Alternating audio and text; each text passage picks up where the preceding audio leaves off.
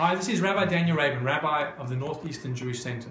This coming Wednesday evening, when you'll be watching this video clip, the Manningham community will be coming together to celebrate the Manningham Harmony Day celebration. A wonderful evening where people of all faiths and backgrounds come together to celebrate in harmony and in friendship. I give a blessing to all those present that they have a wonderful night, an enjoyable night, and a successful evening together.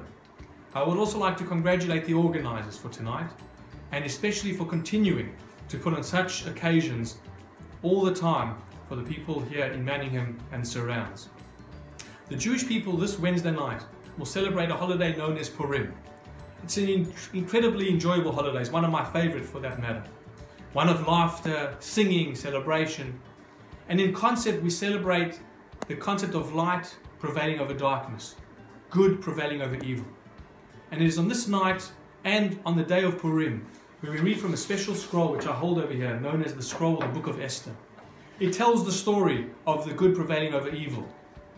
But if one looks at the scroll very carefully, one notices something unique that is not present in any other scroll of the Jewish people, and that is that God's very name is not actually mentioned once in this scroll. And the Jewish sages and thinkers explain that there's actually a beautiful and strong message that is being given over to us. And I think it relates perfectly well to tonight's theme, which is the quest for discovery. And the message is as we go through life, we often come across different challenges and struggles. And it is at those moments where we might feel that God is not present, God is not holding our hand, God is not around us. But when we look closer, when we go through that quest, we discover something unimaginable, and that is we see that God is not only present, but He's intimately involved, holding our hand through each step.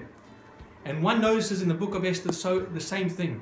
When you look deeper and you look at the story as a whole, although God's name is not mentioned specifically, you see that God is there carrying the Jewish people through the entire story. And so I give my blessing to all of us that as we go through life, if you feel that God is not there, if you're going through challenges, sickness, all different struggles that the, the human existence brings to us, don't get despondent.